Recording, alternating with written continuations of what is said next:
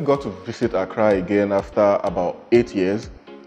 And what took me there was this new thing called mobile money. The first guy I met at a street fair in Osu, his name Obed.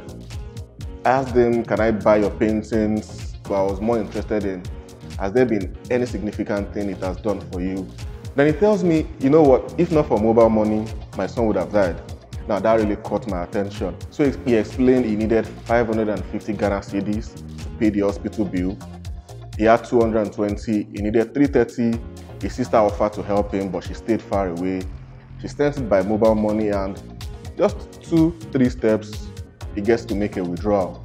I mean, anyone with a canopy sitting under a tree or something with a little table is more or less a bank.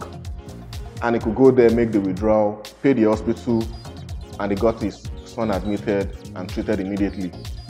For him, he would never have gotten that sorted without mobile money.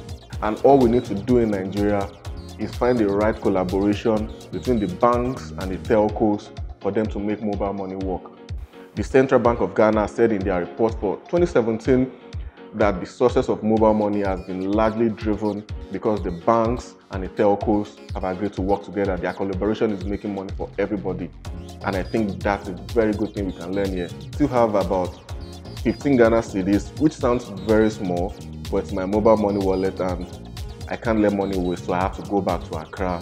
Probably in three months, hopefully I'll get a big leave bonus and I can go there.